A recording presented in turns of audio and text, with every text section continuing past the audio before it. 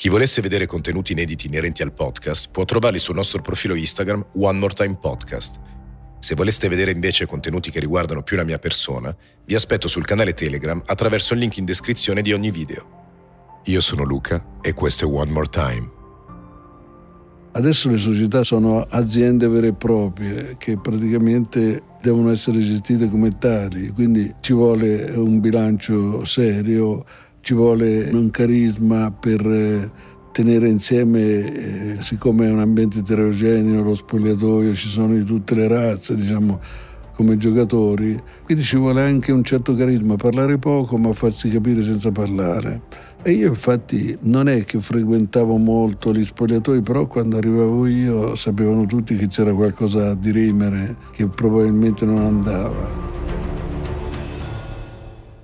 Ti ho fatto una premessa prima nel camerino dove ti ho detto io ho cercato molto no? eh, su di te e ho trovato tutte cose inerenti alle inchieste, a Calciopoli. Ecco, io vorrei parlare di tutto tranne che di quello. Di quel... eh, siamo perfettamente d'accordo. Nel senso che chi volesse approfondire trova di tutto e di più, ma io vorrei parlare poi la parentesi di Calciopoli è più una cosa emotiva che voglio capire come l'hai vissuta, ma io voglio capire chi è Luciano.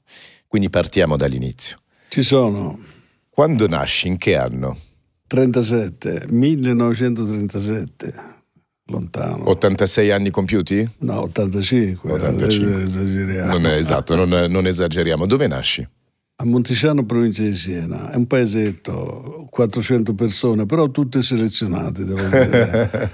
e ci sono stati anche dei personaggi importanti, tipo per esempio il ministro dell'interno, il dottor Pisano, eh, l'amministratore delegato dell'Unicredito, il dottor Bruno, è un paese piccolo però di sostanza. Che sforna talenti. Che sforna talenti, esatto. Raccontami dei tuoi genitori. Intanto nasci che sei figlio unico? No, eh, c'è una sorella. Però che nasce dopo? Sì, otto anni dopo. Otto anni dopo nasce il 9 di luglio, io il 10.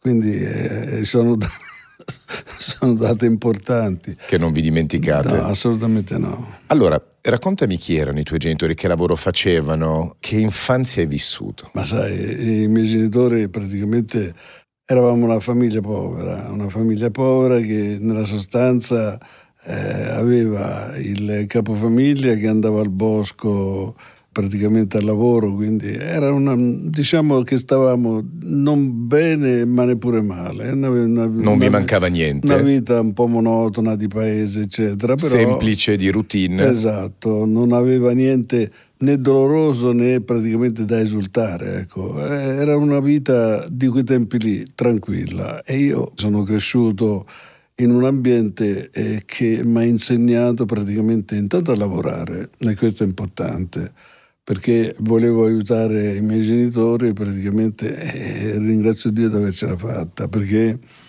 da una vita direi buona, ma niente di particolare, è finita praticamente in una vita per i miei genitori ottima direi, perché l'ho fatti stare bene, perché era il mio desiderio e l'ho esaudito, questa era la cosa principale. Torniamo all'inizio che sei ancora un bambino, quindi non hai avuto modo di poi provvedere tu, ma a livello di amore, no? tu dici mio padre lavorava nel bosco, quindi si faceva un derettano quadrato, lavorava immagino tutto il giorno, hanno giocato con te, ti hanno coccolato, ti dicevano che ti amavano, com'erano da quel no, punto di vista? Eh, il, allora il bene era manifesto, su questo non c'è dubbio, però il coccolare era una cosa diversa, anche perché mio padre diciamo che non sapeva neppure coccolare, però mi voleva un bene dell'anima, su questo non, non ci sono dubbi, stessa cosa mia madre.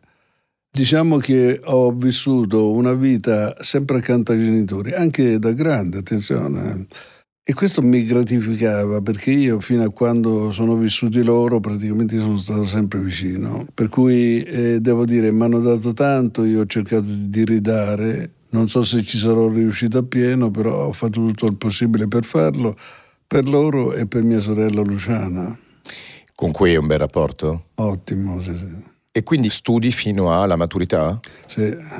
E quando cominci a lavorare, a fare cose altre eh, diciamo, rispetto allo studio? Diciamo che mi sono provato a giocare a pallone.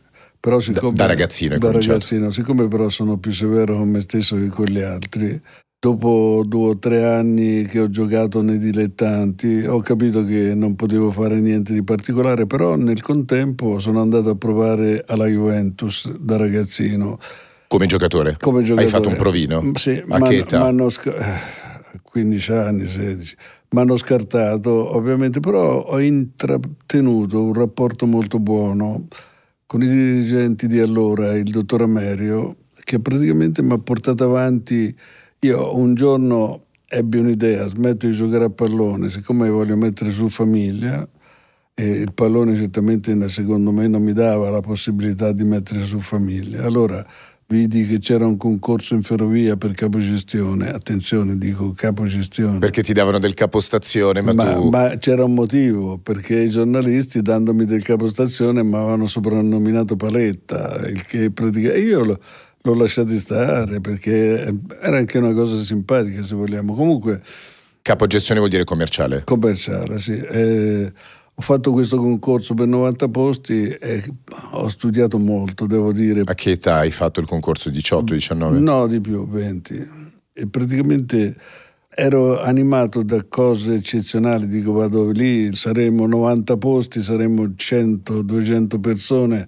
Sono arrivato all'Eur eravamo 10.000 e devo dire che mi sono un po' preoccupato perché 90 posti con 10.000, però eh, sono arrivato terzo, il che vuol significare che avevo fatto bene e da lì è cambiata la vita mia. Cioè, diciamo che ho lavorato prima a Roma Termini, poi dopo sono stato trasferito a Civitavecchia. A Civitavecchia ho avuto praticamente un'idea, quella di richiamare quei dirigenti della Juventus che mi avevano provato per tentare di fare qualcosa con la Juventus.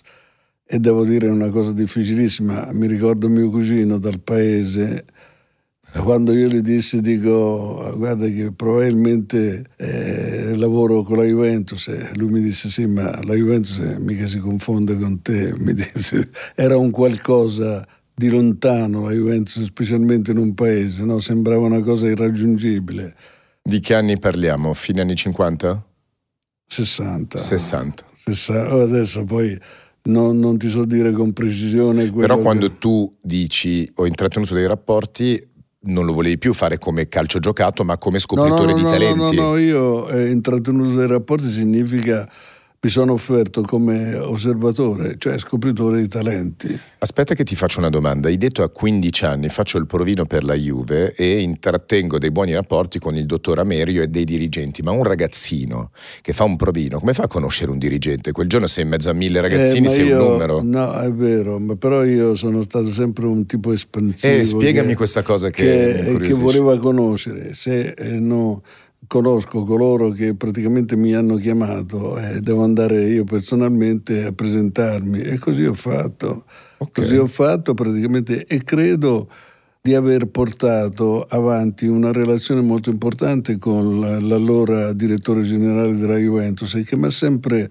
Che hai conosciuto a 15 anni?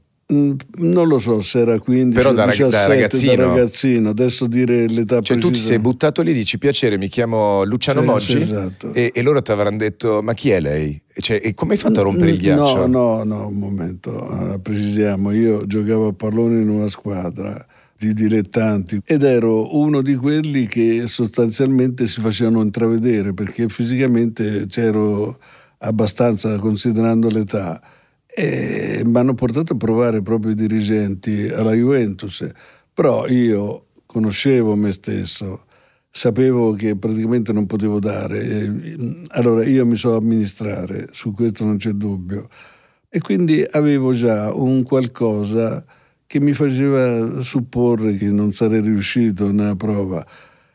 La curiosità però mi ha portato a parlare con questi dirigenti e domandavo ma perché mi avete chiamato? E mi hanno spiegato che praticamente c'era stata una segnalazione come ci sono tanti osservatori che vanno in giro evidentemente mi hanno visto prestante e hanno detto portiamola a Juventus.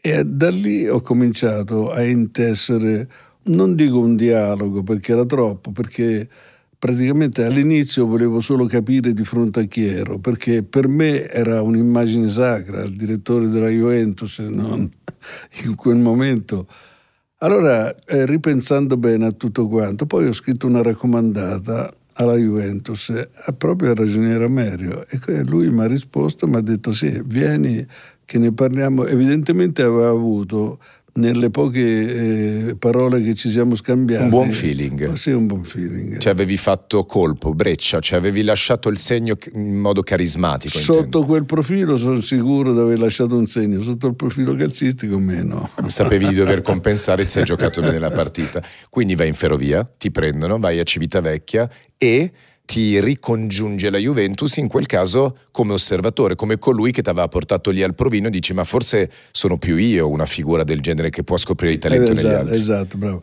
E lì poi ho avuto anche una fortuna, se vogliamo, eh, perché eh, ho trovato un capostazione che veramente toscano come me, che mi ha fatto fare tutto quello che volevo, ma non eh, cose trascendentali che non dovessero essere fatte mi dava tutti i permessi che gli chiedevo praticamente. Poi io avevo un'abitudine, ed è un'abitudine che mi ha insegnato mio padre, questo qui già, di saper lavorare e faticare. L'abitudine era quella di fare, perché in ferrovia si fanno dei turni iniziali, pomeriggio 13-21, la mattina 6-13 e poi la sera 21-06. Allora io approfittavo del 21.06, cioè della notte, perché smontavo dalla notte alle 6, alle 8 salivo sul treno per Torino e praticamente stavo due giorni a Torino, avevo il giorno libero della notte più il riposo. E l'ho fatto per vent'anni questo e credo che sia stato un sacrificio che poi mi ha pagato e pagato sicuramente.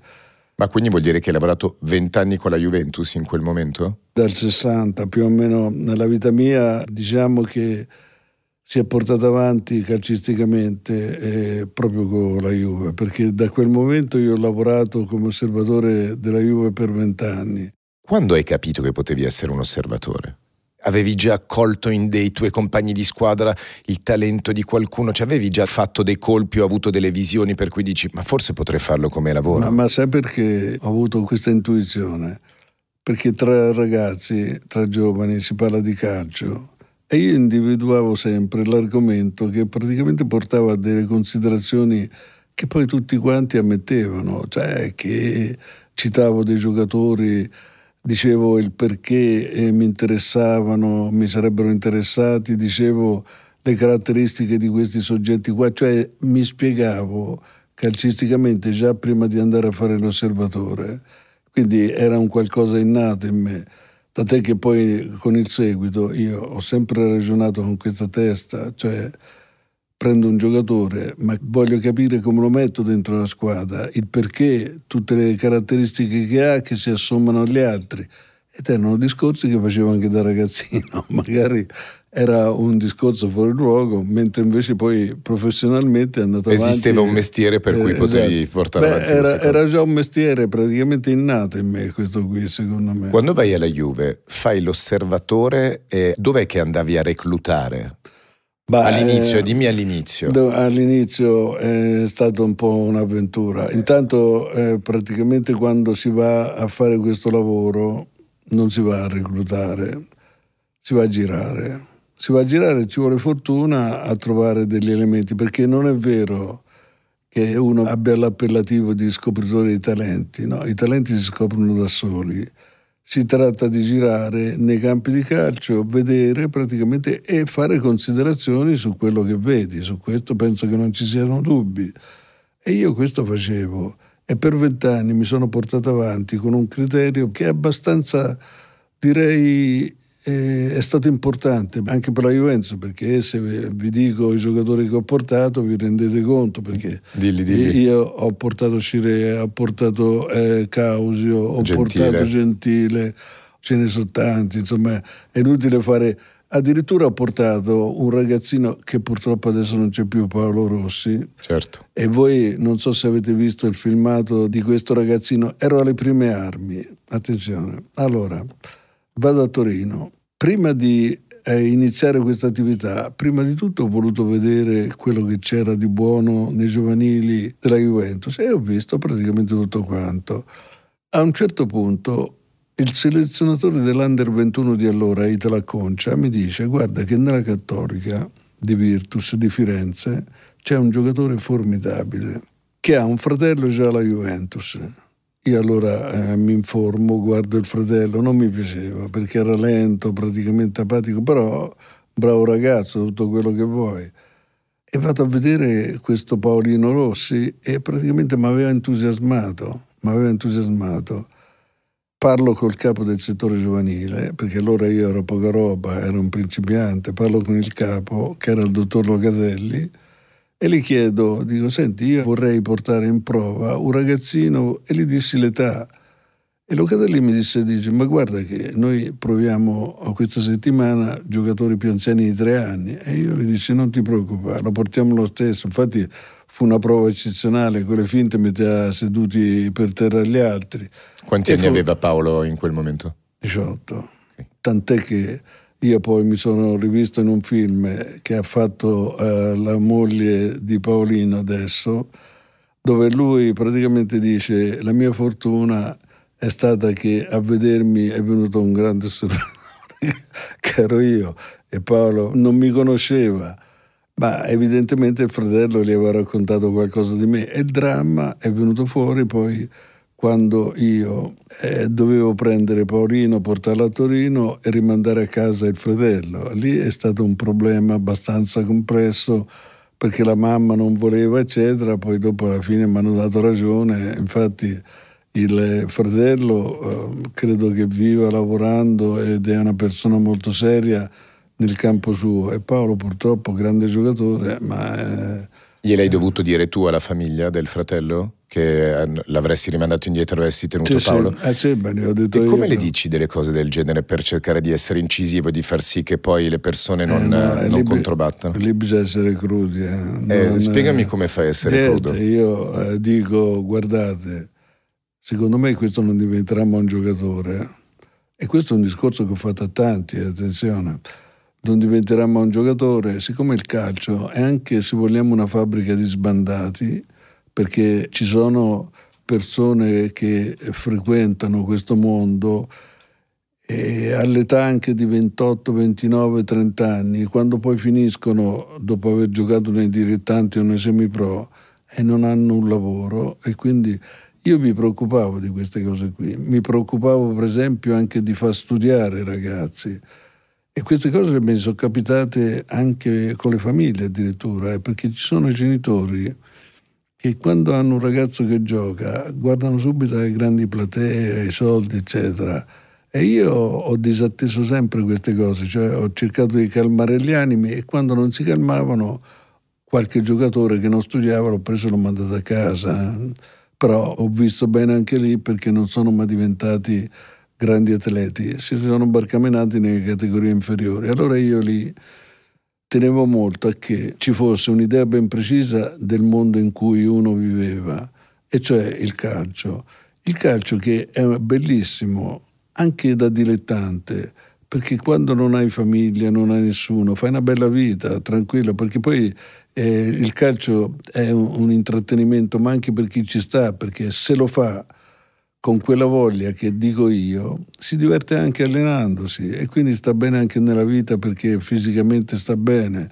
E io era questo che cercavo e quando non lo trovavo praticamente cercavo di dare il ben servito a chi praticamente non mi dava retta.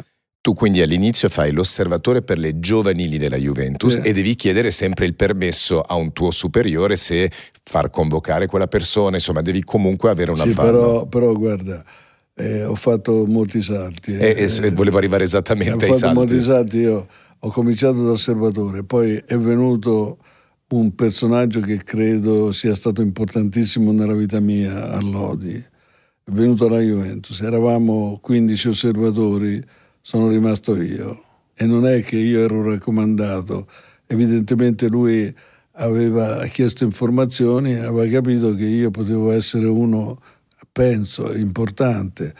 Tant'è che ho avuto un rapporto reciproco eccezionale con Italo, che mi ha insegnato, direi, tante cose, perché eh, lui eh, lavorava dall'ufficio e mi mandava in giro. E io, siccome sono uno, come ho detto prima, lo ripeto adesso, che va sempre a guardare quello che fa e il perché lo fa e chi glielo fa fare Quindi ho cercato di mettere insieme queste cose e mi sono imparato anche dei segreti importanti di Italo Allodi che ho osservato nella vita e credo che mi abbiano portato anche a fare delle cose molto ma molto importanti.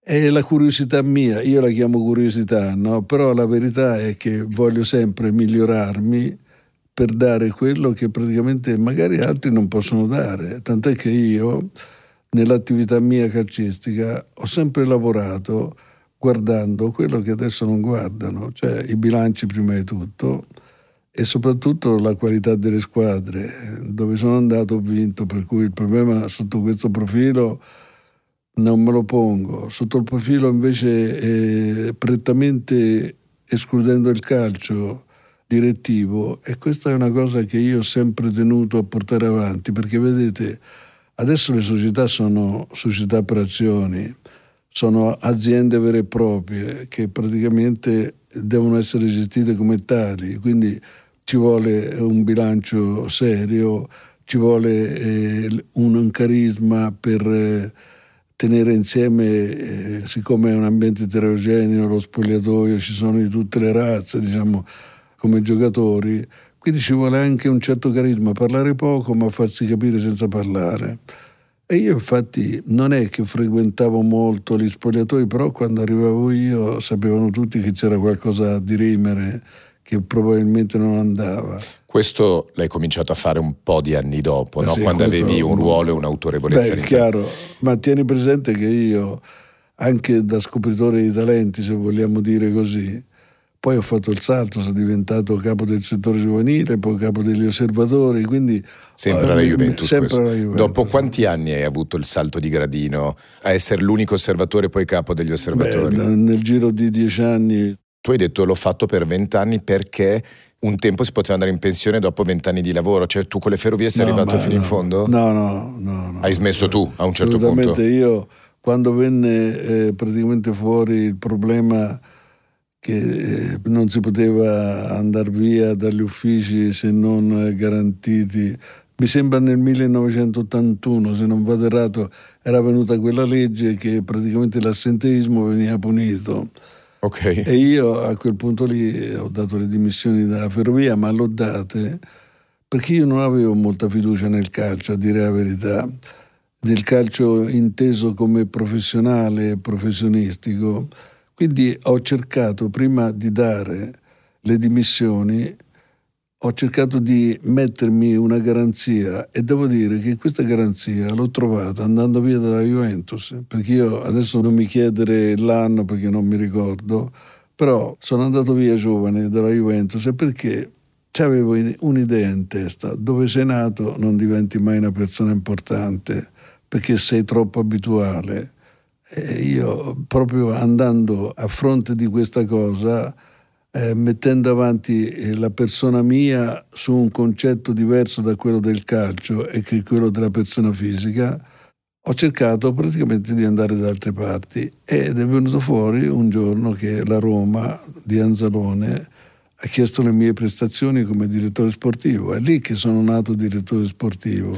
Quindi beh, gli anni, se avevi 20-22 quando facevi questa cosa, l'hai fatta per 20 anni, avevi 40-42 anni, quindi più o meno quella è l'età mm. quando sei andata alla Roma, giusto? Mm, forse un po' meno, ma però più o meno quella cosa lì. Ma tu per 20 anni facevi ferrovie e calcio perché il calcio non guadagnavi abbastanza per poter vivere solo di quello e mollare no, le ferrovie? No, no, perché non ero sicuro di me stesso. Ok, io era volevo, solo una questione di certezze. Io, io, io volevo la certezza di poter vivere con una famiglia, di poter vivere nel futuro praticamente e dare qualcosa ai figli. Su questo non c'è dubbio. Il calcio era per me una cosa in più che se veniva fuori ed era la mia passione, ma non è che sperassi di diventare il dirigente della Juventus. Io credevo praticamente di poter guadagnare e di poter dare qualcosa alla società che mi pagava, ma non è che potessi vivere di quella remunerazione, era una cosa fuori posto. Quindi vai alla Roma dopo vent'anni e diventi dirigente. No, divento direttore sportivo. Anzalone praticamente aveva, ha avuto tanta fiducia in me che mi fece diventare subito direttore sportivo.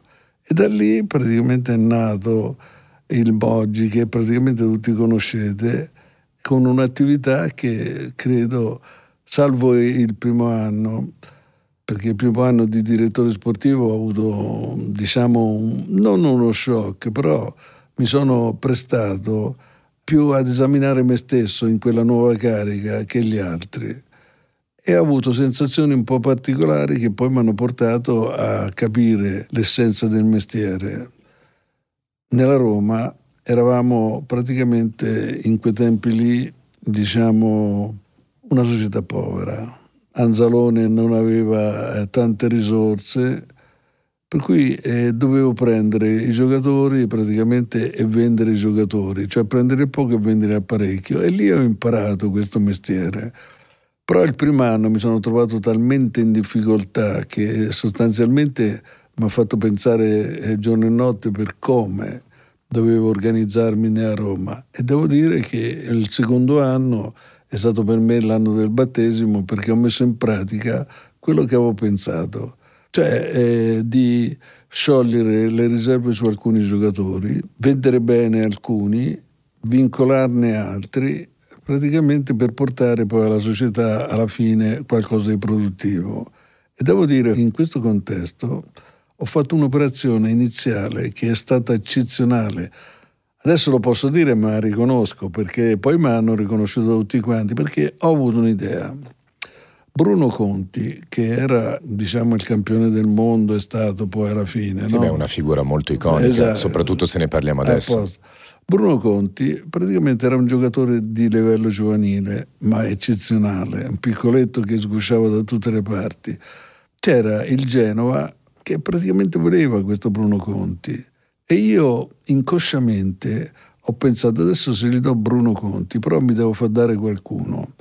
E Darglielo magari... in prestito o venderglielo? No, no, in prestito, in prestito, ma siccome loro lo volevano terribilmente, allora io ho detto adesso mi devo far dare qualcuno e ho pensato Pruzzo, il centravanti del Genova. certo.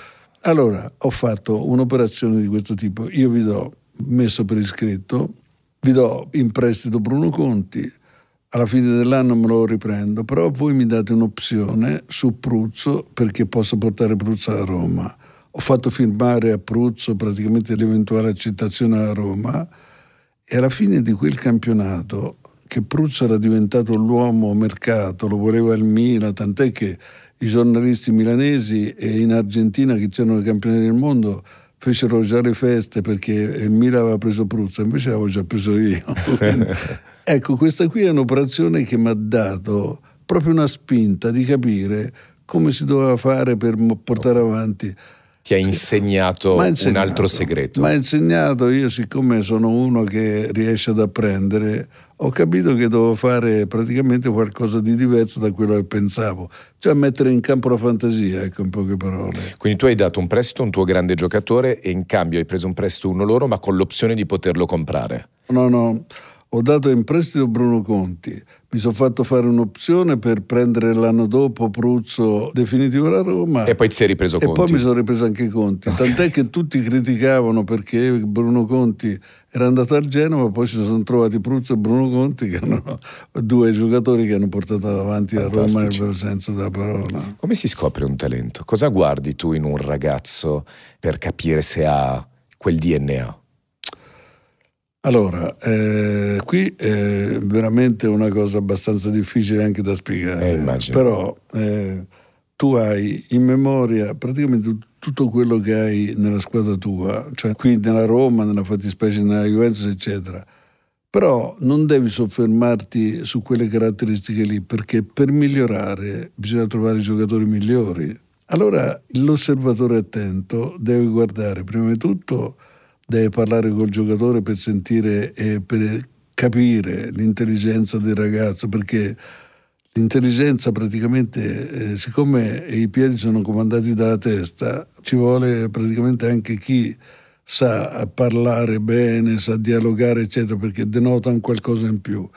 Dopodiché, poi chiaramente lì devi vedere il campo, quello che ti dice, cioè le caratteristiche del giocatore sono tali che se ci sono, per esempio Paolo Rossi della, oppure Causio, sono giocatori che mi hanno impressionato. Ecco, per esempio Causio, tanto per fare un esempio, l'ho provato a Rimini, 50 giocatori, di cui praticamente era una selezione proprio del luogo per non spendere tanti soldi di spese per portare giocatori. C'era questo ragazzino, Causio, che veniva dalla San Benedettese, allenatore Eliani. L'abbiamo messo senza sapere chi era, perché non sapevamo praticamente chi fosse Causio come giocatore. E questo qua ha fatto un primo tempo talmente eccezionale che io ho detto al capo del settore giovanile togliamolo perché questo è così bravo che se c'è qualcuno a vedere le prove lo può portare in un'altra società. Sapete che è successo? Che Causio ha litigato col proprio allenatore, con Eliani, perché gli ha detto tu mi hai portato da tante parti, mi hanno sempre scartato, sono stato un mese a Torino, mi hanno rimandato indietro, adesso questi mi fanno giocare solo un tempo. E sono dovuto intervenire io dicendo guarda, tu non preoccuparti, tu adesso vieni a Torino, ma vieni nell'ambiente bianco-nero e così è nato Causio. Ma tu questi giocatori li vedi delle movenze, della testa alta che tengono quando hanno il pallone tra piedi. E queste sono le cose principali di uno che può giocare a pallone perché il piede è comandato, ma eh, lo comanda la testa. Se tu guardi il campo, la visione del campo e vedi il giocatore che sa dare la palla a destra e a sinistra, vuol dire che è un giocatore. Poi dopo Chiaramente bisogna vedere se tira in porta bene, se è un attaccante, se è un difensore, se colpisce bene di testa, eccetera. Sono queste le caratteristiche che bisogna vedere. Io diciamo che più o meno l'ho intraviste. Tu dici che i piedi sono collegati alla testa e vuoi Molto. vedere se la persona è dotata cerebralmente. Cosa fai per provocarlo quando gli parli, per fargli le domande giuste, per vedere se ha le palle? Che tipo di domande no, gli fai? No, era quello lì, il discorso degli attributi è diverso. Sì, sì, però anche questo conta. Poi sì, no, ammazza, è determinante. Come lo metti alla prova quando ci parli? Eh, no, ma quello lo vedi durante la partita. E il problema della determinazione, il problema degli attributi li vedi quando gioca, perché insomma uno che è pratico di questo mestiere capisce lontano un miglio se è uno che guarda la partita oppure se la gioca e se la gioca lui stesso è in favore dei compagni. Il problema di fondo è vedere dove manda la palla il piede e questa è la cosa principale. Io per esempio mi sono trovato con un grande giocatore, con Del Piero, da ragazzino, praticamente, e lui, ecco, intanto un soggetto che ragionava già come uno grande, ma questo non è neppure determinante gli effetti del gioco però già ti dà la sensazione di uno che ragiona sì, di quando, maturità. e quando ragiona è maturo è maturo anche nel fare un'attività. E Del Piero era maturo per fare l'attività del calcio tant'è che la gente non probabilmente non l'ha mai saputo ma Del Piero era il primo centrocampista della squadra mia e il primo attaccante perché i piedi mandavano sempre il pallone all'uomo libero per tirare in porta, nella porta avversaria.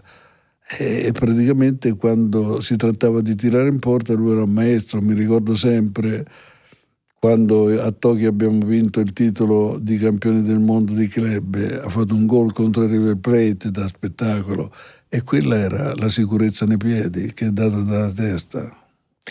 Chi è il più forte di tutti che hai visto in allenamento dove dici era incredibile? Beh, il più forte di tutti è Maradona, su questo, su questo non c'è dubbio. Da questo momento in poi, quindi sei direttore sportivo, dici non l'ho mai fatto, il primo anno ti ambienti, il tuo battesimo il secondo anno e cominci a fare anche dei colpi di mercato interessanti. Quanto tempo rimani alla Roma? A Roma cinque anni cinque anni poi sono passato allora, da, da alla Roma, Lazio da, per un... Bravo, sono passato dalla Lazio, ma per un anno perché poi ho dato le dimissioni perché lì era un po' disorganizzata la Lazio di quel tempo con Umberto Lenzini presidente che purtroppo era un, diciamo, un uomo eccezionale però eh, non aveva economicamente parlando le caratteristiche per fare il presidente poi era in dissidio con i fratelli quindi ho preferito lasciare la Lazio. Tieni presente che sono arrivato a Lazio perché io sono uno coraggioso e assieme a Ilario Castagnere e mi, guardi, devo dire che ho fatto le condoglianze purtroppo alla famiglia eh, ieri perché purtroppo Ilario eh, se n'è andato. Eravamo arrivati due giovanotti alla Lazio ed eravamo in Serie A. Ilario Castagnere era il migliore allenatore praticamente del momento e io avevo subito accaparrato Ilario Castagnere E poi mi ero portato appresso eh, la visione della nazionale olandese, che in quei tempi praticamente era una nazionale eccezionale. E avevo preso il miglior attaccante, Van de Kerkhoff, che però purtroppo, come saprete tutti, la Lazio aveva avuto dei problemi e fu retrocessa in Serie B. E quindi dovemmo fare un campionato, sia Ilario che io, da, in Serie B. E Van de Kerkhoff non ci vuole stare perché lui si sentiva un po' fuori luogo, un campione come lui, a partecipare a un campionato di Serie B in Italia. Quindi lui se ne andò. Però nonostante tutto devo dire che anche questa con la Lazio è stata sì una bella esperienza, ma un'esperienza che mi ha portato a capire come le società di calcio devono essere gestite non avendo problematiche economiche come aveva la Lazio. Quindi cresce la tua esperienza e poi vai a Torino. Vado a Torino. Dopo la Lazio. Dopo la Lazio, ma io poi ho una caratteristica, vedi, sono andato al Napoli.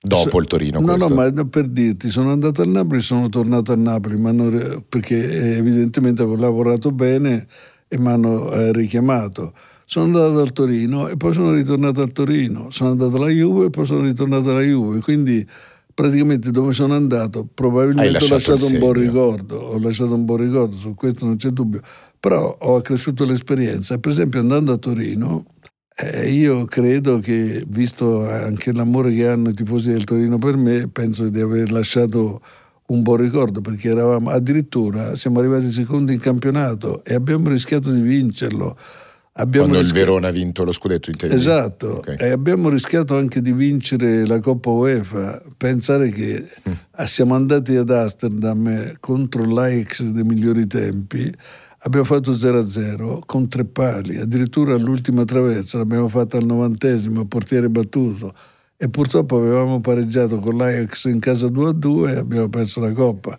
È il momento in cui Mondonico ha alzato la sedia su ed era una cosa che sostanzialmente mi riempiva di gioia, insomma, perché avere senza diciamo, la presidenza che potesse largire denaro per comprare giocatori, avevamo attrezzato una squadra che tutto sommato era una squadra in quegli anni lì si era lasciata dietro la Juve dei campioni. Il Torino praticamente era la squadra di Torino che emergeva nell'ambiente del calcio quindi erano soddisfazioni queste qui che io mi sono preso ed era un godimento, devo dire, eh, sotto il profilo lavorativo, perché se il lavoro ti dà soddisfazione è anche un qualcosa che svolgi senza tanta fatica. Io sono abituato anche con i giocatori, ho sempre guardato in faccia una realtà. Se vi divertite giocando vuol dire che sapete giocare e i risultati ci sono. Se faticate ditemelo perché vi mando via.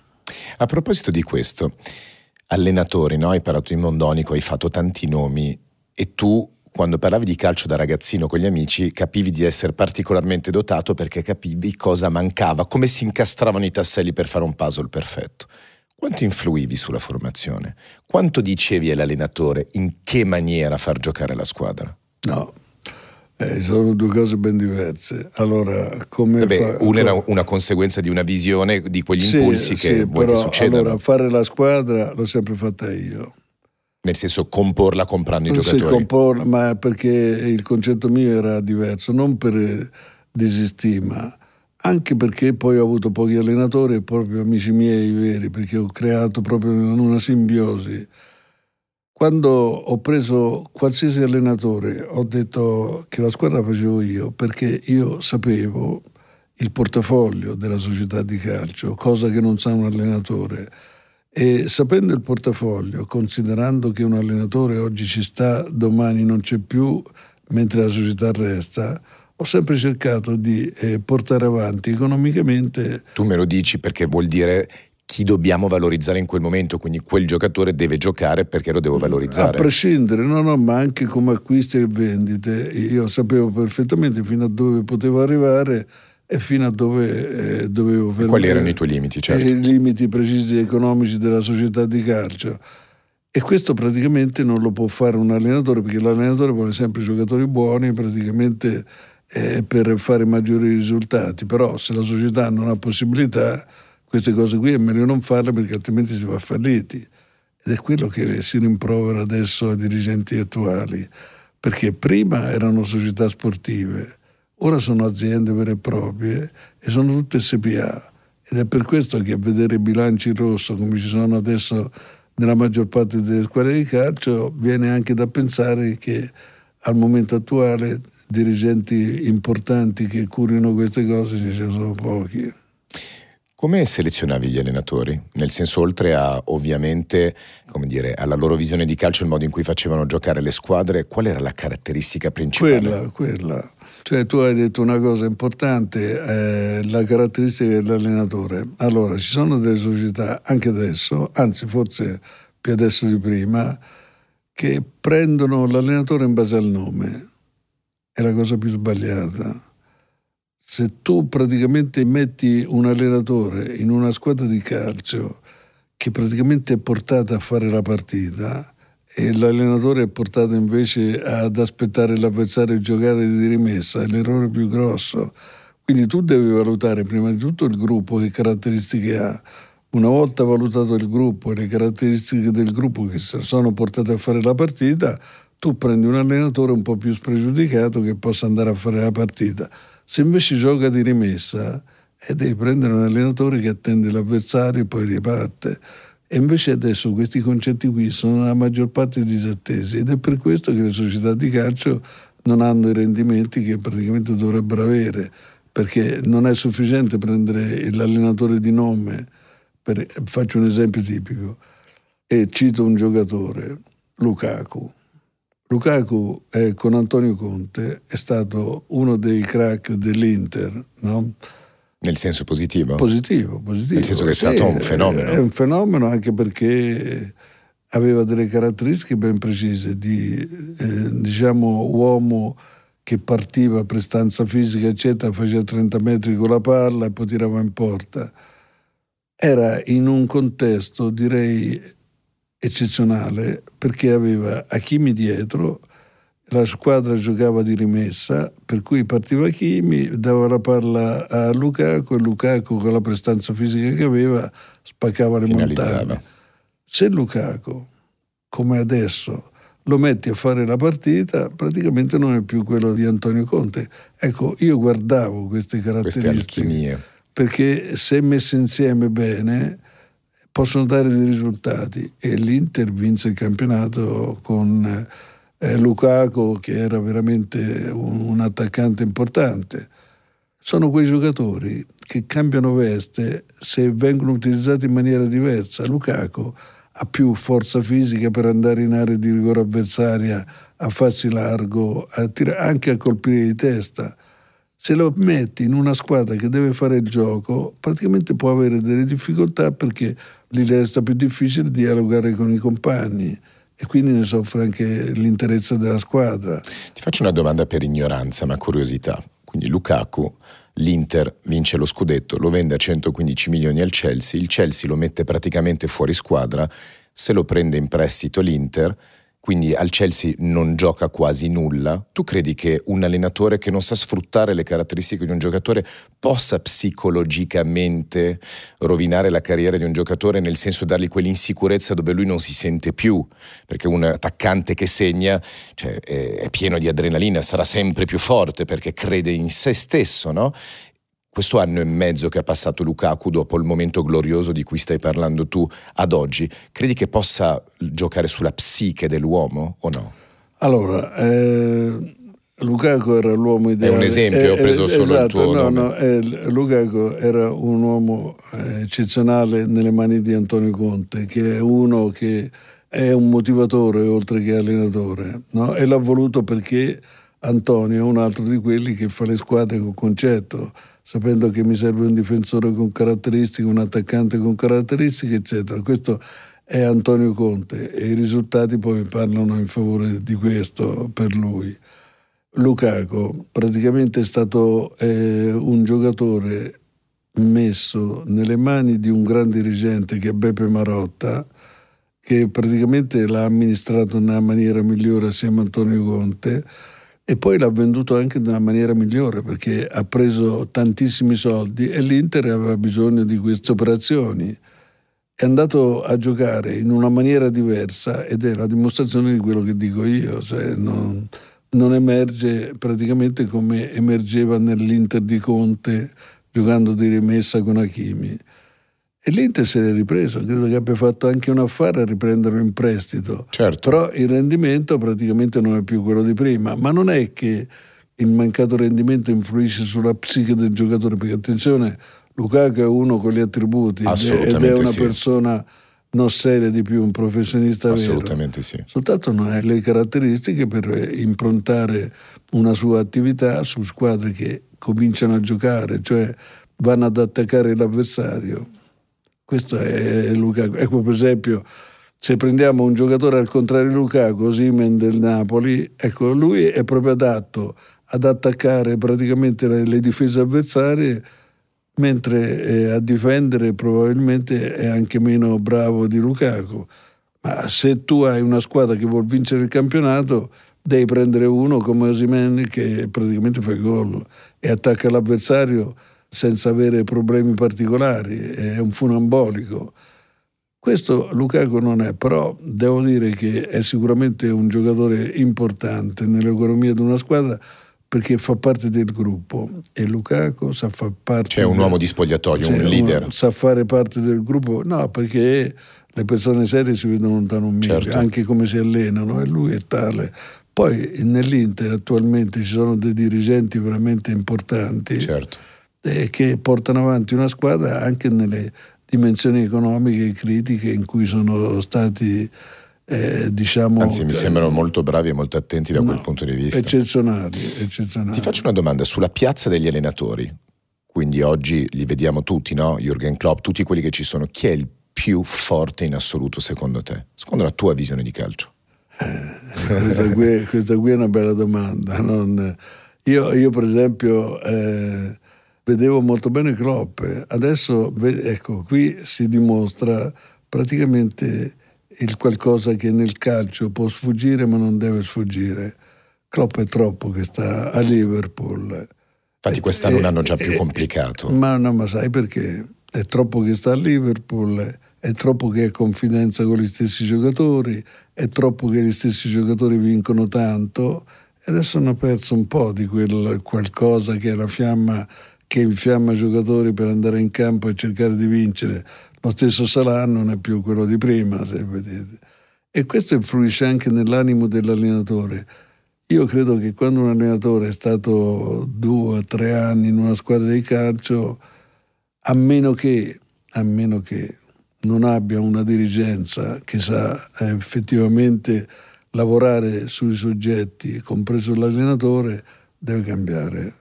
Visto che abbiamo parlato di Inter, io sono milanista, però sono molto sportivo, quindi amo il calcio bello. Torniamo a Mourinho. Quindi Mourinho due anni all'Inter, secondo anno vince tutto, se ne va per fare una nuova esperienza che dice meglio di così non posso fare, è la cosa giusta. Ha fatto la cosa giusta, poi si trattava di andare in una grande squadra come Real Madrid, quindi voglio dire, non, non è che... Sì, dove ha avuto la sfortuna allora- di avere un Guardiola con un Barcellona incredibile Allora, dall'altra parte. Esatto, vogliamo dirla tutta. Io ho imparato da un allenatore che credo che ce ne siano pochi di allenatori che ragionano a quella maniera. E sai da chi ho imparato? Dall'Idol. Io sono arrivato alla Roma da ragazzino, insomma non da ragazzino ma alle prime armi, no? a fare il direttore sportivo. E l'Idol mi ha sempre detto, prima di tutto mi ha detto ma tu vuoi campare bene a Roma, sì, devi fare il morto. Non ho capito bene il perché mi diceva questo, ma sicuramente di parlare, di parlare poco. Tieni presente che in quel periodo lì un giornalista di Roma ha fatto praticamente un articolo sulla Roma dove diceva che Anzalone, anche se l'Idolme dovesse vincere il campionato, lo caccia. E poi questo giornalista il giorno dopo è venuto al campo, io ero presente, parla col mister, gli fa, dice, mister, ma ha sentito il presidente suo cosa ha detto? Lo caccia anche se vince il campionato. L'Idol me lo guarda, poi gli fa, ah sì? È finita l'intervista. E da lì ho imparato praticamente come si fa a parlare poco soprattutto e a fare bene le cose. Infatti. Invece la tua più grande scoperta come allenatore? Per esempio Berlusconi, no? noi dicevamo tanti prendono degli allenatori di nome e lui ha fatto tante giocate non scontate, prendendo degli allenatori non di nome, adesso vedi Palladino nel suo Monza, piuttosto che non ha sempre preso dei nomi blasonati. No, momento, momento. Palladino, lasciatemelo stare che è stato un giocatore mio, quindi lo conosco personalmente ed è uno che vale. Su questo penso beh, che si vede no, sul campo. Se, se non, è un giovane che vale molto. E guarda caso, dei miei giocatori, se fai un esame eh, abbastanza accurato, trovi quelli che hanno giocato con me che sono tra i migliori allenatori. Deschamps che addirittura è diventato campione del mondo, mondo. e quest'anno è arrivato secondo in finale. In finale. Certo. Ma non solo Deschamps, e che finale. Zidane Antonio Conte, Gasperini, pensate che visito i migliori allenatori e sono cresciuti tutti con me questi qui, quindi qualcosa di buono l'abbiamo insegnato alla Juventus e su questo non c'è dubbio. Tu me lo stai dicendo perché non c'è solo l'intuito di aver scelto la persona giusta, ma aver impartito la giusta disciplina. Come impartisci la disciplina? Come fai capire come si sta al mondo nelle squadre dove lavoravi tu? Allora, eh, io tanto per fare un esempio tipico, eh, nei 12 anni che ho passato alla Juventus ho cambiato tre allenatori. L'Inter ne ha cambiati 25, addirittura 5 in un'unica stagione. No? E secondo me questo qui era il modo per non andare bene allora tu eh, scegli un allenatore, devi sapere quello che scegli praticamente il dialogo che può avere con questo e soprattutto devi capire come gioca per immetterlo nel gruppo bene e poi lo devi difendere. Lo devi difendere perché l'allenatore ha bisogno della difesa della società di fronte allo spogliatoio perché è un uomo solo contro 25 persone non tutti giocano e quelli che non giocano praticamente possono dissentire e si creano gruppi. Tant'è che io, appena arrivato alla Juventus, eh, ho fatto un anno e poi ho smartito un po' di persone perché volevo rinnovare l'ambiente. Quando sei tornato, intendi? Sì, quando sono tornato alla Juventus dalla Roma, perché io eh, ho fatto Napoli-Roma e poi sono ritornato alla Juve e abbiamo vinto con questo sistema qui anche la Coppa dei Campioni nel 1996. Quindi voglio dire, la ricerca è abbastanza accurata per l'allenatore, poi devi avere delle persone che oltretutto conosci bene e sei anche amico se vogliamo, cioè gli puoi fare delle confidenze. Io per esempio con Lippi è un simbolo, Capello un altro simbolo, Carlo Ancellotti Carlo Ancelotti praticamente era eh, un po' diverso da questi due perché doveva essere aiutato in modo particolare. E se vi dico che Carlo Ancelotti deve a me tanta parte della sua gloria e sono contento di averlo fatto perché è un bravo ragazzo, voi pensate che io stavo alla Roma da recluta, da ragazzino, e lui giocava nel Parma, l'ho preso e l'ho portato alla Roma, su insistenza di Lidon, devo dire L'ho portato a Roma, poi volevo andare al Milan. Ho preso e l'ho mandato al Milan. Poi ho cominciato a fare l'allenatore a Parma. Da Parma l'ho preso e l'ho portato a fare l'allenatore alla Juventus. E devo dire che Carlo ha fatto dei buoni campionati perché una volta ha fatto 72, una volta 73 con eh, praticamente due punti, quindi erano un ottimo campionato e poi dopo si è trovato col disastro del Curi, voi non so se ricordate la tempesta su quel campo lì e quindi ha perso anche immeritatamente. Eppure io ho continuato a sostenerlo ed era importante sostenerlo perché eh, era giovane, quindi aveva bisogno di aiuto. Poi dopo, quando abbiamo deciso di riprendere Lippi, io ho fatto un contratto a Carlo Ancellotti, ho fatto un contratto di un anno perché non lo volevo, mi dispiaceva farlo stare senza contratto e poi ero sicuro di poterlo collocare, tant'è che ho trovato praticamente una squadra turca, il Galatasaray, che lo poteva prendere e gli ho fissato un appuntamento a Parma. E qui è la fortuna del soggetto, perché ci vuole anche fortuna quando gira. Mentre Carlo Ancellotti andava a Parma in macchina, mi ha telefonato Berlusconi. E Berlusconi mi ha detto, ci senti, ma tu di Ancelotti che ne dici? Io gli ho detto, è un buon allenatore, gli ho spiegato il perché con noi poteva non andare bene. Sai che mi ha detto Silvio Berlusconi? Perché io gli ho detto, guarda perché però sta andando a Parma a filmare con una squadra turca. Chiamalo, falli girare la macchina e farlo venire a Milano da me che gli faccio il contratto io. Così ho fatto e Carlo Ancelotti si è trovato nel giro buono che praticamente poi l'ha portato ad essere quello che è, perché secondo me è umanamente eccezionale. Guarda, ti stavo dicendo, non volevo interromperti, da milanista io gli sono molto grato a Carlo Ancelotti e anche alle telefonate sì, a questo sì. punto che Berlusconi ti fece, perché oltre ad essere un grandissimo allenatore è una persona molto umana. Molto io, umana. io credo che non ci sia di meglio, è proprio un bravo ragazzo, dà soddisfazione a poterlo aiutare. Io magari l'ho fatto nel, diciamo perché mi è venuto non spontaneo, perché gli eventi praticamente mi hanno portato anche alla telefonata di Silvio Berlusconi, che praticamente ha determinato poi il ruolo di Carlo nelle grandi squadre. Io per esempio adesso che sono buon amico di Florentino Perez, devo dire che praticamente lo stimo in una maniera è, è difficile essere stimati da Florentino Perez perché probabilmente uno dei pochi eh, presidenti che capisce di calcio. E devo dirvi, eh, si può evidenziare da tante cose. La prima, per esempio, è che lui, ancora prima di prendere l'allenatore, cioè di prendere Carlo Ancellotti, ha preso il preparatore. E il preparatore Pintus, che io ho avuto nei minori della Juventus, ecco, l'ha preso due mesi prima di prendere l'allenatore. Di solito queste cose qui si fanno con l'allenatore, però lui che è un presidente che conosce il calcio a menadito e vi dico anche di più, c'è stato un momento in cui Carlo Ancellotti era traballante, non adesso, ma nella precedente... Tu dici sempre Real Madrid nella, sempre Real Madrid, precedente? ma nella precedente edizione. Eh, sono andato a vedere la partita che determinava la Coppa dei Campioni e la partita era con l'Atletico Madrid. Vado in Spagna, la prima persona ovviamente che incontro è Florentino, gli parlo, dico ma Carlo come va? Benissimo, benissimo mi disse. Adesso gli ho detto che se non vince la Coppa dei Campioni lo caccio via. Io sono rimasto un po' sbalordito da una cosa del genere perché non scherza mai, attenzione, quando parla, allora ho voluto fare una verifica. vado in albergo della squadra, eh, parlo con Carlo del più del meno, dico ma col presidente come va? Bene, bene, mi ha detto che se non vinco mi caccia via. È stato, è stato sincero. E lì psicologicamente devi essere forte, eh? perché se subisci quella pressione lì ma, giochi ma tu male. pensa, la buona stella di Carlo, a due minuti dalla fine perdeva 1-0. Ma io me la ricordo molto ha, bene ha vinto, Ha vinto 2-1. Me lo ricordo molto bene. Quindi questo qui ha anche aiutato dalla buona stella e credo che Carlo se lo meriti. Assolutamente sì. Quindi la tua miglior scoperta come allenatore?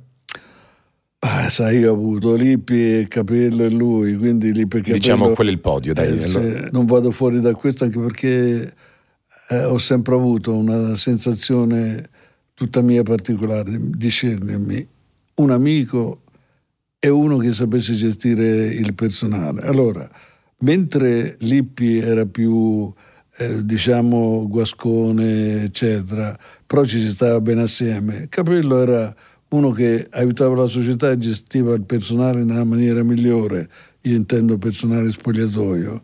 E questo per me era la cosa principale. Poi in campo erano quelli che erano, quindi i migliori allenatori, per cui non avevano bisogno di consigli particolari, però io avevo un modo di fare un po' mio particolare il giovedì, per esempio, io facevo tutti i giovedì la riunione con l'allenatore. Solo voi due? Sì. Neanche con l'allenatore in seconda, no, solo tu e lui? Solo con l'allenatore. Il modo di consigliarsi, quando c'è stima reciproca, praticamente si parla e si esaminano bene le situazioni. Bene, io non ho mai fatto un discorso tu fai giocare questo, assolutamente no perché non era il mestiere mio però dicevo, secondo me farei così e poi la domenica si faceva a quella maniera. Il venerdì, per esempio, facevo la riunione di tutti i medici sociali, i massaggiatori, i preparatori, eccetera, perché è una caratteristica un po' particolare e diversa questa qui dei soggetti, perché il medico sociale, quando i giocatori vengono dall'infortunio, li vuole perfetti in campo.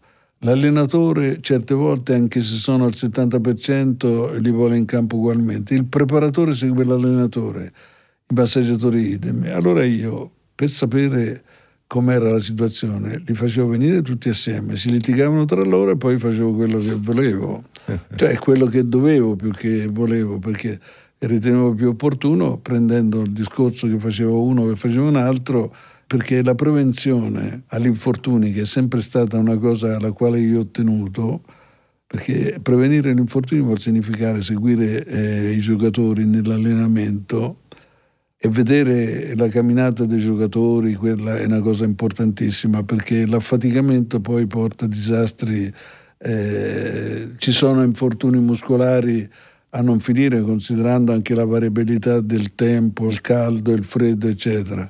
E io lì ho sempre tenuto praticamente a visionare e a sentire le persone incaricate eh, di questo argomento qui. E devo dire che eh, ho sempre avuto una certa dose di fortuna perché come gli infortuni sono capitati poco, muscolari.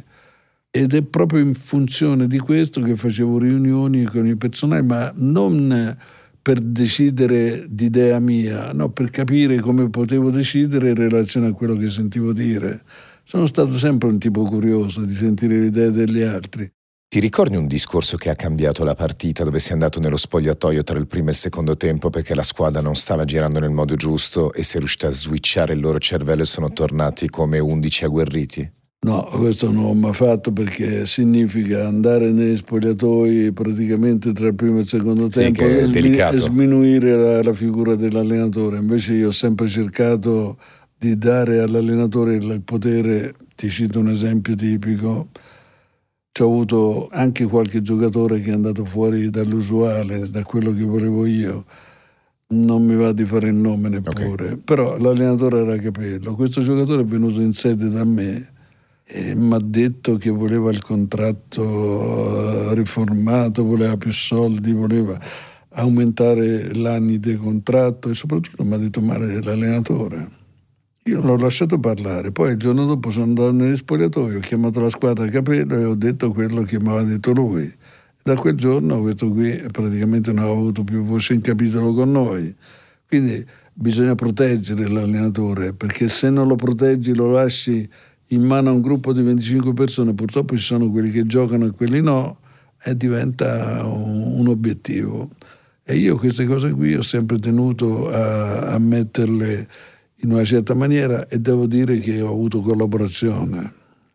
Parliamo secondo dei procuratori, nel senso che volevo capire un po' il loro ruolo. Oggi si vedono tantissimi giocatori che non fanno più monetizzare le squadre che li hanno comprati, ma arrivano a fine contratto e poi cambiano squadra.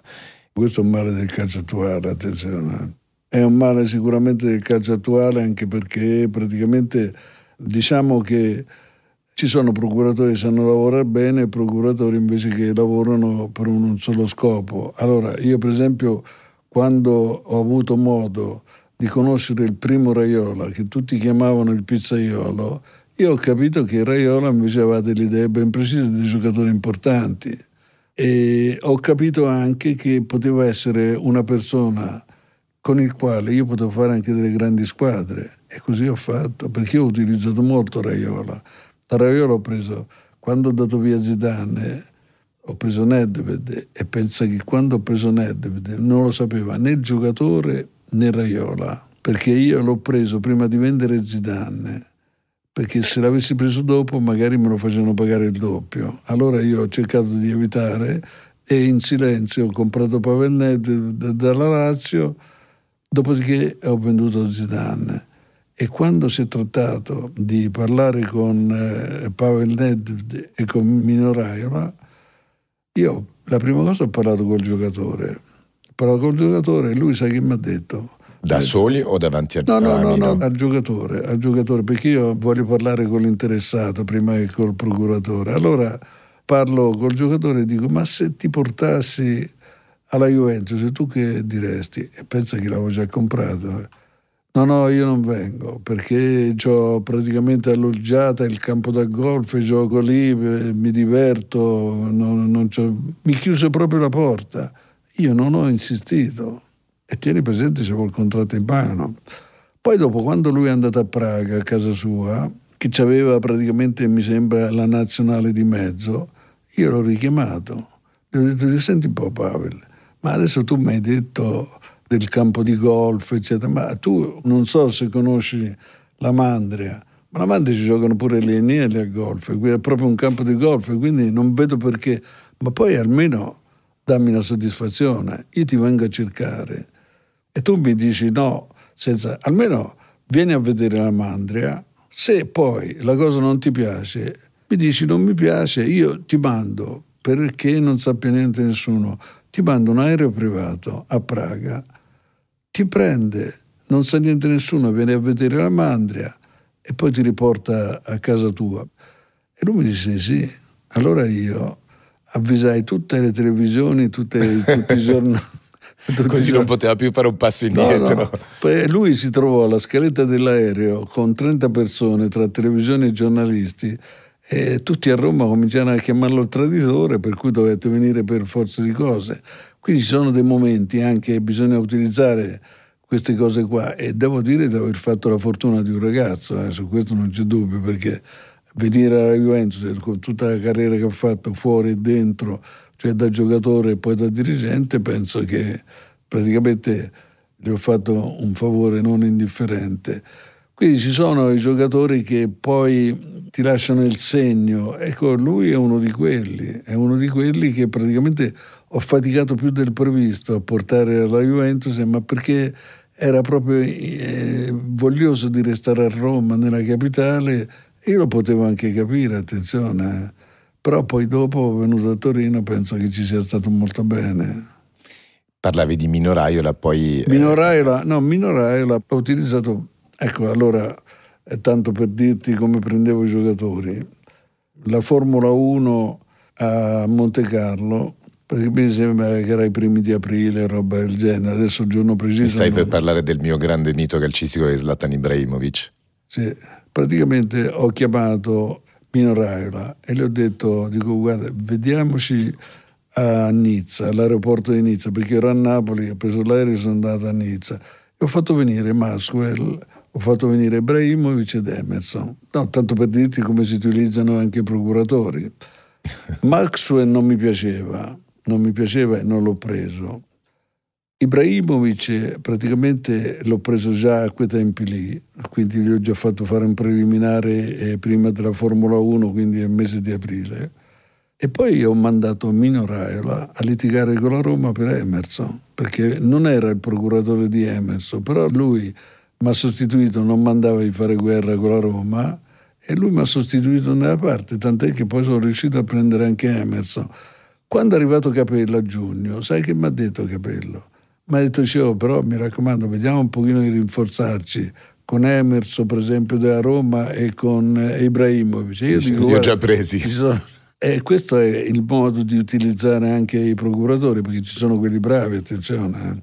E Mino Raiola era uno di quelli proprio bravi. E sapete chi era un'anima importante di Mino? Era Raffaella Pimenta. Raffaella Pimenta è una brasiliana che ha lavorato sempre con Mino ed è una che è stata l'artefice anche della cessione di Delite al Bayern Monaco per 70 milioni. Quindi voglio dire, era una di quelle che ci sapesse fare, una donna che sa tante lingue. Tosta. È tosta, tostissima anzi. E credo che sia una che possa portare avanti il problema di Mino nel migliore dei modi. A proposito di Mino, no? nel senso è sempre stato descritto, è sempre stato visto come un uomo granitico, tutto d'un pezzo, uno che arrivava dalla strada, no? che si è fatto da solo, carattere molto forte. Lo chiamavano pizzaiolo. In effetti lui aveva un ristorante di pizza d'asta. Certo, certo. Ci sono andato io, quindi vorrei dire...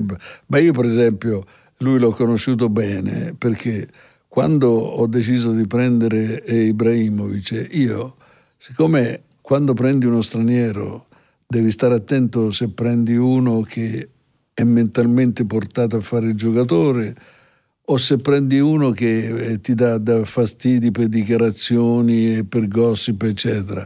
E io per tre mesi, prima di fare un discorso con Ibrahimovic, sono andato ad Amsterdam ti ricordi che lui aveva fatto un gol di tacco contro la nazionale italiana in Portogallo?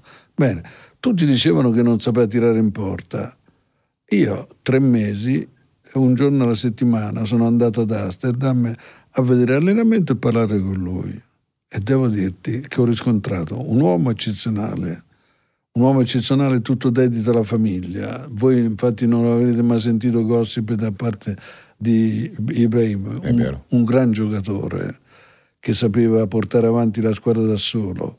Cito un esempio tipico, viene al Milan e nel Milan c'è un amico mio, Nocerino, e a Nocerino che mi chiede consigli su come stare vicino a Ibrahim, gli dico guarda tu devi fare una cosa, devi stare in mezzo all'area di rigore, lui va sulla fascia, si porta dietro quattro giocatori avversari, li salta tutti e poi mette la palla al centro. Nocerino fece 11 gol. L'ha fatto andare in doppia cifra.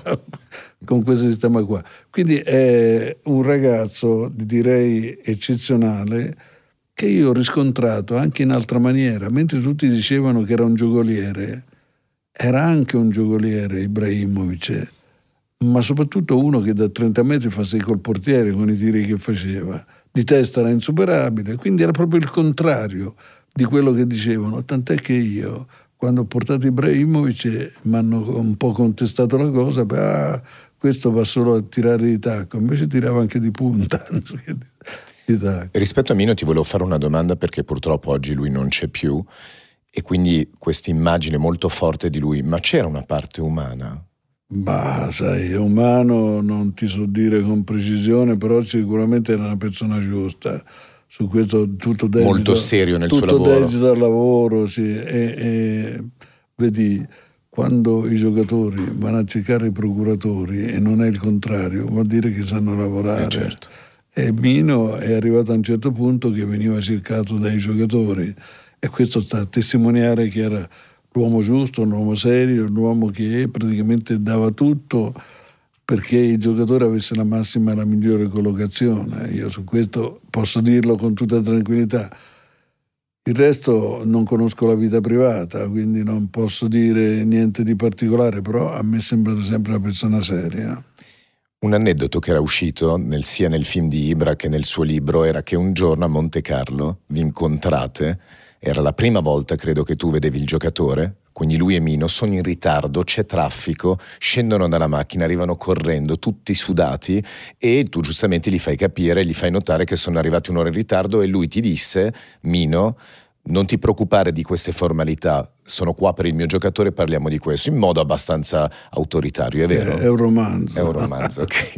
A me certe cose, se mi avessi detto una cosa del lo genere... Lo rimandavi indietro. Lo rimandavo subito indietro, non sentivo per me. Ok, non c'è ah, nessuna no, sfumatura di quella roba. Ma, ma, addirittura ho visto un filmato in cui, in cui Mino dice che Moggi non voleva prendere Ibrahim, cioè proprio esattamente il contrario.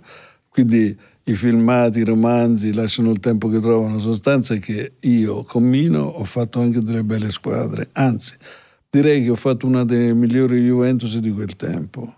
Per cui il rapporto era e se mi avesse fatto un discorso iniziale del genere finiva prima di cominciare il rapporto. Faccio una domanda su Ibra, no? nel senso da milanista ho visto un grande switch mentale, una grande sicurezza nello spogliatoio in tutti i giocatori, cioè io lo ritengo un grande professionista nell'allenamento, in partita, molto serio e molto preciso. Quanto ha influito secondo te nello scudetto dell'anno scorso, cioè in questa nuova mentalità del Milan? Secondo me molto, secondo me molto, a parte il fatto Senza che... Senza togliere eh, il merito all'allenatore ovviamente. No, no, no ma, ma, se tu senti parlare Pioli, se tu senti parlare Paolino, Maldini, voglio dire, hanno tutti dei concetti un po' particolari, ma sempre uguali, cioè quelli di un soggetto che anche non giocando sa imprimere e sa dare ai compagni quel qualcosa che altri non sanno dare, cioè lui è, è uno che, diciamo vuol vincere, sa vincere e mette gli attributi per vincere e vuole che gli altri che giocano con lui siano nella stessa maniera e misura. E io credo che ci sia riuscito soprattutto anche non giocando, attenzione, perché ma non giocando quanti gol ha segnato lui è uno dei migliori cannonieri del Milan. Eh. Ah, Gioca, sul gioca, numero di partite giocate giocando, per la sua realizzazione. Giocando sì. poco, esatto, non è che ha demeritato, però eh, ha impresso, ha impresso cosa, sì, sì, il carattere, il carattere indomito di chi è un condottiero e Ibra è un condottiero vero e poi anche una persona squisita. Io quando sento dire che Ibrahimovic è un rompiballe, mi viene la voglia di dire che non conoscono il soggetto. Lui ha un pregio che secondo me potrebbe essere anche un difetto, ma un pregio. Se ti stima, tu con una caramella gli fai fare il Giro d'Italia. Sì, sì, ti dà la vita. Se non ti stima, praticamente, ma te lo dice. E io credo che avere a che fare con queste persone, per esempio con Ibra, quando ha fatto i 40 anni, ci ha chiamato tutti a Milano, poi ha postato praticamente una foto mia di Galliani, di Mino Raiola e di Pobba e ci ha messo la storia, l'histoire, praticamente per dimostrare che è un soggetto prima di tutto riconoscente, ma poi soprattutto è uno che sa eh, di dover, diciamo, avere il dovere di mettere in evidenza l'attività di altri che hanno costruito il bene suo, in poche parole. Io questo, guardate, di fronte a un personaggio come Ibrahimovic, tanto di cappello, io ho sempre avuto un feeling eccezionale e lavoro sempre perché a me piacciono le persone vere quelle che hanno anche il coraggio di dire in faccia quello che pensano, eh, mentre qualcuno diceva borro. Le persone che ti dicono dietro quello che vorrebbero dire davanti non ce la fanno. Torniamo a un grande del calcio che è Maradona in Napoli, ma una parentesi, tu arrivi quando loro hanno già vinto il primo scudetto, giusto? Sì. Arrivi l'anno successivo? Sì, arrivo nella tempesta in cui praticamente era implicato l'allenatore Bianchi che era mal visto dalla squadra e lo volevano mandare via. Io arrivo in quel momento lì praticamente e devo dirimere un problema abbastanza grosso perché era il primo anno che ero al Napoli. Mi trovo con il presidente Ferlaino che mi dice bisogna mandare via l'allenatore. Io ero di parere esattamente contrario, anche perché se mando via l'allenatore in un gruppo di giocatori del genere, ne metto un altro che è nella stessa e precisa dimensione di questo qua, cioè inizialmente ha un gruppo di giocatori che vogliono fare i sindacalisti e che praticamente vogliono fare quello che vogliono e l'allenatore può anche non concederli. Allora, secondo me era da mandare via i giocatori. E devo dire che ero andato al Napoli con un preconcetto, quello che Ferlaino mi dicevano faceva tutto lui. Ed è una cosa che praticamente ho capito già all'inizio, quando io ho detto no, io vorrei mandare via i giocatori, lui mi ha detto no, mandiamo via l'allenatore. Sai che ho detto io a Ferlaino? Dico va bene, mandiamo via l'allenatore, tu fai una dichiarazione, dici io Ferlaino, presidente, voglio mandare via l'allenatore perché è successo delle cose che non vanno bene. Se fai questo per me va bene, però se non lo fai io sparisco. Infatti io per 4-5 giorni mi sono eclissato è venuto a ricercarmi Ferlaino e mi ha detto allora beh, fai tu quello che vuoi. Hai tenuto l'allenatore? E io man- ho tenuto l'allenatore, ho mandato via alcuni giocatori. Ma addirittura il capitano Bruscolotti. Voglio dire, non potevo mandare via Maradona perché Maradona avrebbe mandato via tutti con il potere che aveva calcistico e carismatico. Però voglio dire, tutto quello che c'era che a me sembrava non andasse l'ho fatto fuori. L'ho fatto fuori e guarda caso il Napoli ha ringiovanito la squadra, ha vinto il campionato, ha vinto la Coppa UEFA, ha vinto la Supercoppa, ha vinto la Coppa Italia, praticamente cose che adesso auguro al pubblico di Napoli di gioire con questa squadra che hanno perché credo, credo che veramente sia una squadra fuori dalla norma. Meravigliosa, ma anche in Champions secondo me. Il Napoli è una squadra un po' particolare che fa la partita perché si diverte a fare la partita perché ha due grandi giocatori tipo Olisen e, e Osimene e Gvara. E Gvara, che è il nome complicato. Sì, infatti lo abbreviamo no. così. Sì, però ha un centrocampista che si chiama Anguissa, che è quello, l'uomo forte che va nei contrasti, sa dare la palla ha praticamente l'uomo migliore che sta davanti alla difesa si chiama Lo Bocca, il quale è veramente forza, una delle forze del Napoli. E il Napoli con questo sistema qui, avendo anche sulle fasce Politano e Lozano, con questo sistema e con questa squadra può fare due partite. Una può attaccare l'avversario e fare il gioco personale. Se poi l'avversario ha la forza di attaccare il Napoli, si difende andando in contropiede con dei velocisti eccezionali e con un funambolico come eh, Osimene, il che praticamente la fa diventare una squadra fortissima. Io penso che questo Napoli qui possa andare anche in finale di Coppa dei Campioni, magari o con Real Madrid o col Manchester City. Ti chiedo di Maradona. Raccontami qualcosa, sia di umano, se ce l'hai da raccontarmi, ma che Napoli era con Maradona? Chi era Maradona in quel momento? Beh, guarda, Maradona era un qualcosa di eccezionale. Per chi non lo conosce, era Maradona malandrino. Per chi lo conosce, un uomo eccezionale che purtroppo era eh, in un modo e eh, in un altro, quindi aveva doppia personalità. E la doppia personalità praticamente spesso e volentieri aveva il sopravvento su quella vera. Però io ho visto fare a Maradona delle cose eccezionali eh, con della gente che aveva bisogno, lui si è prostrato proprio, era veramente un uomo generoso, generoso, generoso ma soprattutto voleva bene al prossimo suo. E i giocatori praticamente eh, li volevano bene perché li faceva vincere la partita, ma perché proprio lui si attirava il bene del quindi e, e il pubblico è inutile dire quello che faceva per lui.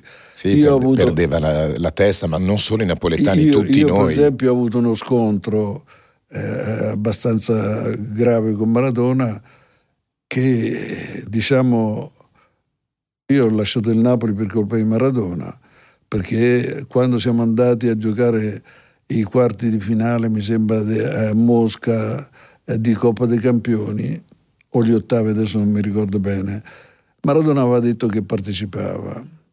La partita era il mercoledì, noi partiamo lunedì. Partiamo lunedì e io arrivo in aeroporto, Maradona non c'era. E la cosa, sono andato a casa sua, ho detto praticamente a Coppola, che era il manager, e a Claudia, che era la moglie, perché lui dormiva, era chiuso in camera, ho detto guardate, io sono sicuro che voi arrivate domani, perché la partita è mercoledì, se arrivate domani sera, Maradona non gioca. Poi andato, ero atteso da tutti i giornalisti, ho dovuto dire che chi non parte con noi non gioca. Maradona è arrivato il martedì. È arrivato con un aereo privato? Con l'aereo dopo. privato è arrivato il martedì sera, è arrivato praticamente in albergo, l'ho fatto mangiare con la squadra, eccetera, poi ho convocato la squadra. È arrivato lo stesso il martedì perché ha detto comunque mi farà giocare lo stesso. Beh, certo, Anche se avevi avvisato certo, a casa lui, che non l'avresti sì, fatto. Eh, lui voleva giocare, ma poi queste cose qui non le faccio. Pensa che sia l'allenatore che le debba fare. No? Non... Comunque io l'ho fatto mangiare, poi ho chiamato Ferlaino, ho chiamato tutta la squadra e a Maradona ho detto se vai via tu succede il finimondo a Napoli se vado via io non se ne accorge nessuno. Per cui io ho detto a Fellaino, tu dall'inizio del prossimo anno cominci a trovarti un direttore perché io non ci sto più con Diego. Poi è venuto il giorno della partita. È venuto il giorno della partita, praticamente nevicava, era un freddo terribile e io ho pensato se lo mando in tribuna ci sono le poltrone riscaldate e non va bene, lo metto in panchina. Infatti ho detto all'allenatore di metterlo in panchina. Si è patito una freddata, ha giocato agli ultimi 5 minuti perché non segnavamo, però non siamo riusciti poi neppure a segnare. Dopodiché io quello che avevo detto l'ho mantenuto, lui eh, non ha giocato. Io i primi di aprile ho dato le dimissioni dal Napoli e sono venuto via. Eh, però poi dopo l'ho aiutato, l'ho aiutato dopo e l'ho portato anche negli Emirati a fare l'allenatore, perché eh, io avevo un debole per Maradona, tant'è che poverino quando veniva in Italia la prima telefonata la faceva a me e probabilmente aveva capito che se avesse dato retta a me non succedeva niente di particolare. L'ho portato negli Emirati, gli ho fatto fare l'allenatore, poi anche lì però mancava negli allenamenti, la mattina per esempio non andava mai all'allenamento ed era l'allenatore. Allora decisero l'ultimo anno di fargli fare il promotore del calcio negli Emirati e poi dopo è successo quello che è successo, inutile. Però devo dirvi che eh, io ho voluto bene a Maradona perché era un ragazzo che si faceva voler bene e diciamo che quasi quasi era un dovere volergli bene per guidarlo, anche se era difficile guidarlo, su questo non c'è dubbio. Ritorni alla Juve, vincete tanto, sono delle annate incredibili e a un certo punto arriva Calciopoli raccontami il giorno in cui vieni a conoscenza dei fatti, come ti senti, come affronti quel momento. Un momento. A conoscenza dei fatti sono venuto quando mi sono fatto interrogare. Il momento certo. in cui praticamente mi è stato dato una comunicazione del genere, veramente mi sono sentito un qualcosa dentro, anche perché l'attività mia era fondata sul fare le squadre di calcio e farle giocare bene e non c'era bisogno di comprare arbitri, eccetera, perché voi non so se avete visto, quando praticamente si è trattato di vincere il titolo mondiale, a Berlino nel 2006. Della Juventus c'erano cinque giocatori, Lippi, allenatore, Esposito, massaggiatore. E nell'altra squadra che competeva con noi c'era Turan, Didier Deschamps, Trezeguet, voglio dire, erano quattro giocatori che sostanzialmente davano, sembrava una partita addirittura come a Villar Perosa durante l'estate tra Juventus A e Juventus B, invece la finale di Coppa del Mondo, voglio dire. Quindi, detto questo, eh, siccome io ho fede, su questo non c'è dubbio, mi ha aiutato molto questa cosa. E poi devo dirti che mi è successo un episodio un po' particolare. Durante la mia attività alla Juventus ho ricevuto a un certo punto, non ti so dire neppure i tempi, una lettera da Palermo. In questa lettera da Palermo che io ho letto, io non ho dato tanta importanza perché era una donna e c'erano anche quelle che cercavano pubblicità, eccetera. Comunque non ho dato importanza a questa lettera. Poi a un certo punto, dopo due o tre anni, ho pensato, ma voglio conoscere questa persona, perché mi diceva che mi doveva dire una cosa importantissima. E l'ho chiamata. Come ti è venuta la voglia di conoscere una delle tantissime persone che ti scrivevano? Cosa avevi ma era carpito? Una, no, no, niente di particolare, solo che mi diceva che aveva da dirmi una cosa importantissima. Che riguardava la fede? O non no, sapevi no, che niente, cosa riguardasse? Niente, niente, io non sapevo niente. che riguardasse, anche perché questa qui praticamente poi ho appurato che non sapeva neppure chi ero, l'ha chiesto ai figli e arrivo da lei, una vecchietta di un'ottantina d'anni, eh, poverina che è venuta anche, con, non dico con le stampelle ma ci mancava poco, e mi ha detto, disse senta che cosa le volevo dire. Io eh, praticamente eh, qualche tempo fa ho sognato un gregge di pecore.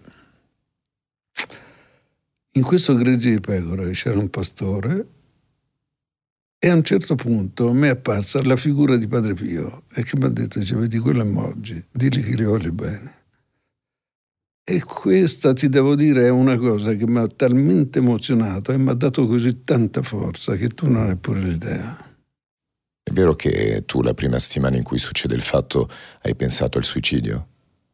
Eh, ho pensato di tutto, ho pensato di tutto anche perché, sai, ti trovi in un momento in cui bah, a me mi davano dell'altro e quindi eh, si resta male di fronte a magari a della gente che tutto potrebbe dire tranne quello, e però eh, ho passato sicuramente i primi tempi molto, molto brutti, però la fede mi ha aiutato tanto. Scopri la fede in quel momento? O no, già no, no, perché so che hai fatto un seminario tu quando eri molto più sì, giovane, giusto?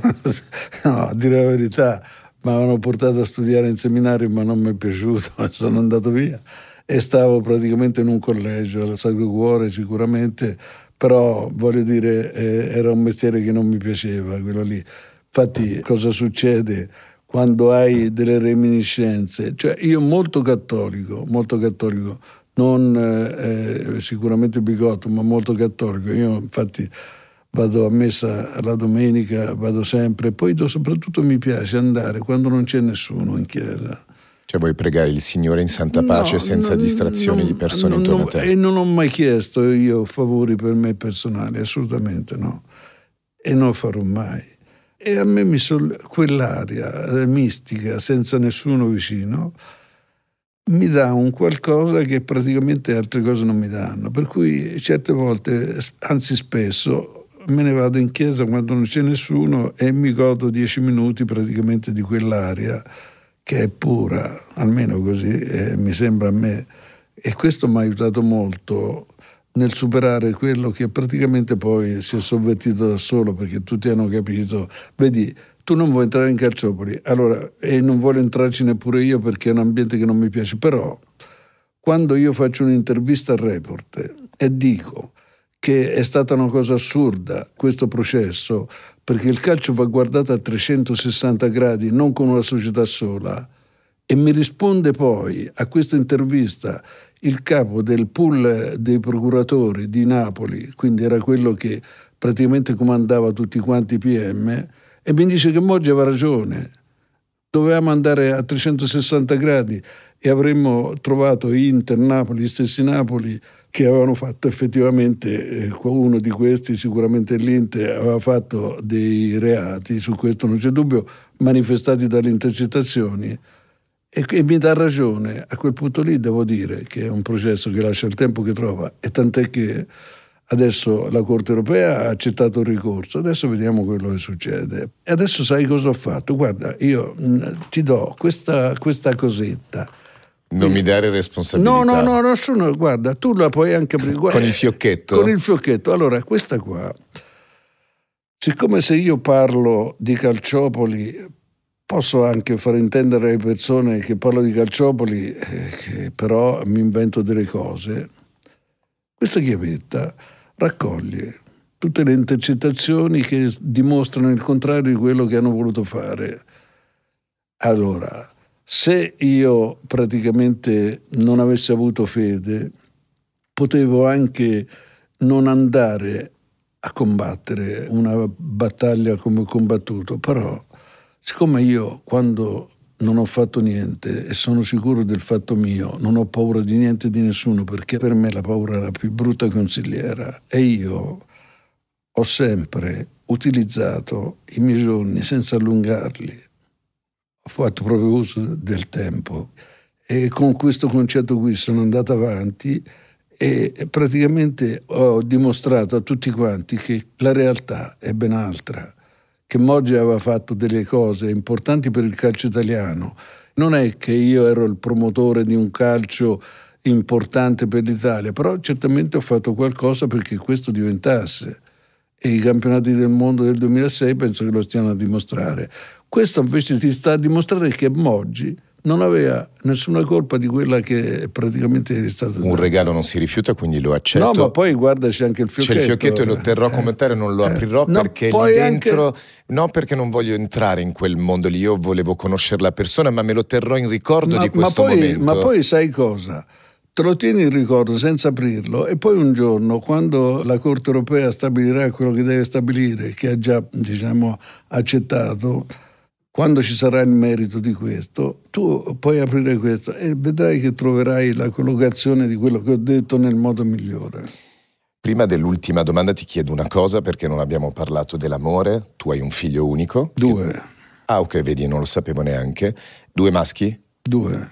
Ok, io so di uno che lavora nel mondo del calcio. Sì, mi danno soddisfazione tutte e due. Uno lavora nel mondo del calcio Alessandro e ha fatto anche una manifestazione in favore dell'Ucraina eh, al Galli a Milano e hanno partecipato tutte le squadre di calcio, compresa Lega, Federazione, tutti quanti ed è stata una cosa elogiata da tutti quanti. L'altro è diventato uno dei pochi manager dell'Unicredito che attualmente praticamente eh, ha come sottovisione da Napoli a tutta la Sicilia. Quindi sono contento di quello che hanno fatto i miei figli e spero che i miei nipoti facciano altrettanto, perché ho due nipoti con uno e due nipoti con l'altro.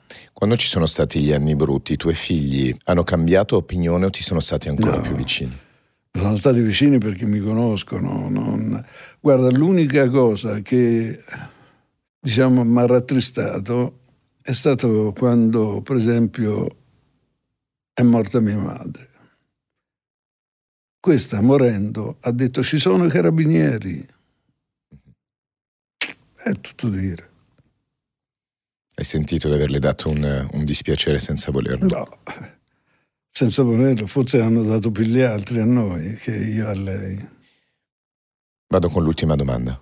Ti voglio chiedere se hai paura della morte. No. No, non ho mai avuto paura della morte. Ripeto, la paura per me è una brutta consigliera, quindi no. Non ho alcun timore, anzi cerco di fare nel migliore dei modi sempre per evitare di pensarci. Allora te ne faccio un'ultimissima di domanda. Qual è per te il senso della vita? Eh, il senso della vita è complesso, il senso della vita è comportarsi bene, il senso della vita è lavorare per se stesso e per chi ti sta vicino e soprattutto essere una persona seria. Io sono sempre stato serio e ho sempre dato il massimo di me stesso per la causa per cui ero portato a lavorare e soprattutto per la mia famiglia. Perché io per esempio, tanto per dirti come sono fatto io, durante la mia attività calcistica che è durata tanto tempo, non ho mai fatto le ferie senza i miei genitori e le ho fatte sempre al paese mio, a Monticiano. Perché diciamo che non mandava di andare in giro per il mondo, ma mi godevo più i miei genitori, questo è, e mia sorella Luciana e tutti qua, oltre alla famiglia mia naturalmente. Questo eravamo oggi. Grazie Luciano. Ci mancherebbe. Grazie mille.